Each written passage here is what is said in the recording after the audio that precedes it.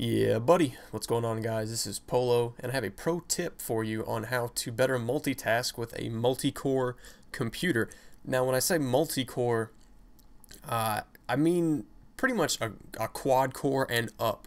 Because if you have a dual-core, you should always have both cores going like full blast on whatever you're doing.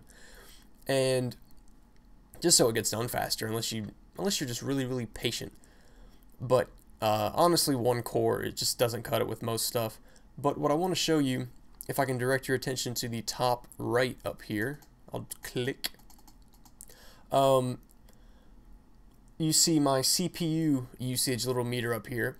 And cores 1 and 2 are, you know, eh, they're working because I'm recording right now and I have a couple other things going on in the background. But actually, core 2, or core 1 and 2, are supporting everything right now on my computer because cores 3, 4, 5, and 6 are all, you know, full blast because I'm actually rendering. I'll open it up for you. I'm actually rendering right now.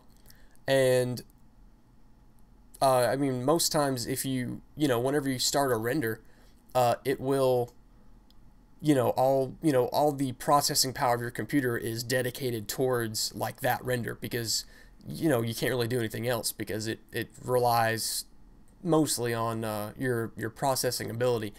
But I'm going to show you how to multitask. See, I've only dedicated three, four, five, and 6 to the render. And, hang on, I need both of my hands. Let's see, Control, Alt, Delete. And then uh, start the Task Manager. And then here is everything that is currently, um, let's see, it's going to be on the Applications one right here. But uh, just tab over just one to the right of Processes and it shows everything uh, that you're you know doing right now. Uh, and then the middle column the little zeros all that is you know what is you know how much CPU usage something is using. And if I go down here you'll see this 65 this is Sony Vegas right here.